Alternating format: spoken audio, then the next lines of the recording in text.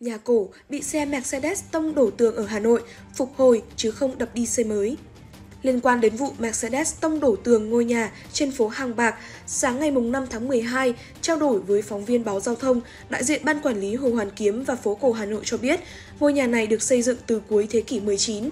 Ban quản lý cho biết đây là một trong những ngôi nhà cổ ở Hà Nội khi mà thời Pháp cải tạo đô thị ở trong phố cổ thì bắt đầu làm vỉa hè. Trong phố cổ, những nhà ra sát vỉa hè là những nhà cổ nhất.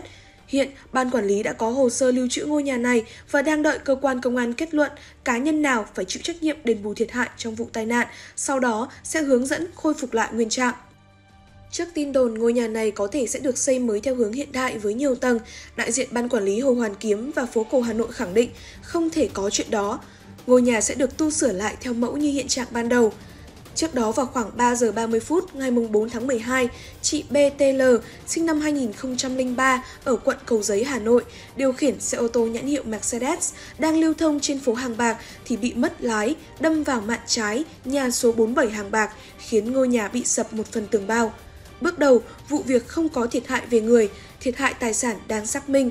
Qua đo nồng độ cồn đã xác định nữ tài xế BTL vi phạm ở mức độ 2, vượt quá 0,25mg đến 0,4mg trên 1 lít khí thở.